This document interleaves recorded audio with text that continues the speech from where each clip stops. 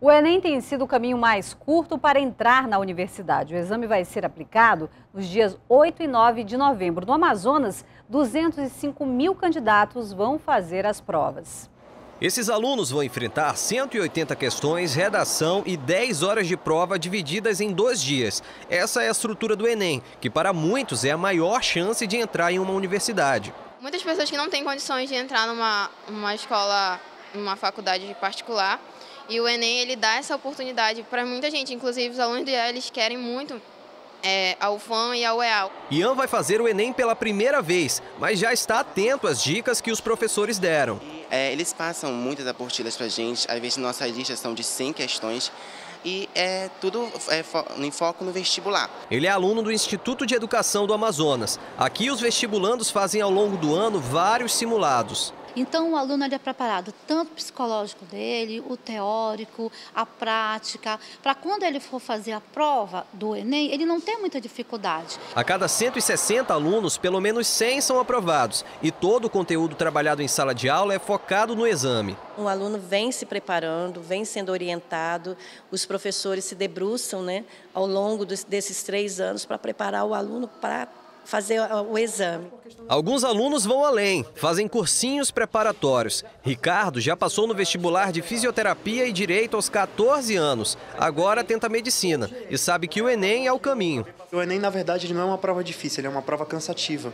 Então, quando você se acostuma a ler bastante e a fazer uma grande quantidade de questões em sequência, você não sente esse peso na hora da prova. Ricardo desenvolveu um método de estudo e memorizar o conteúdo é mesmo um grande desafio para a maioria.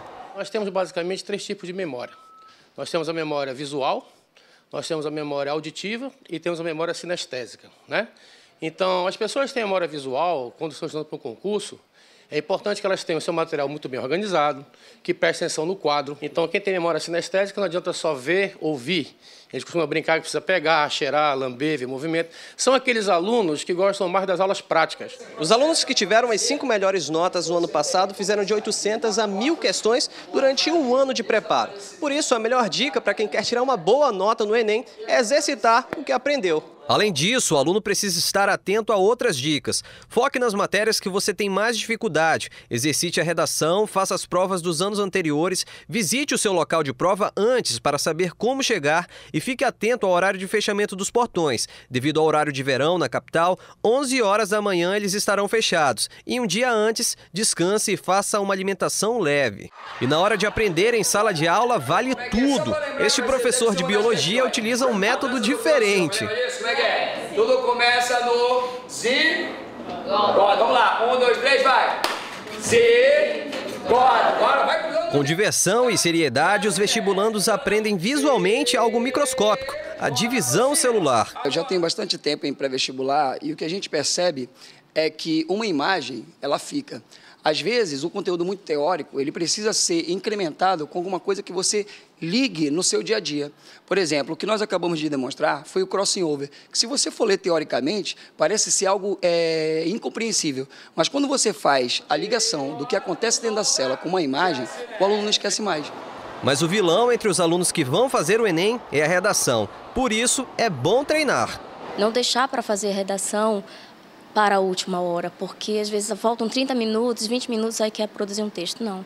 Primeira coisa, lê a proposta de redação, verifica que ideias você pode ter ali para delimitar o tema que foi estabelecido e começar a escrever.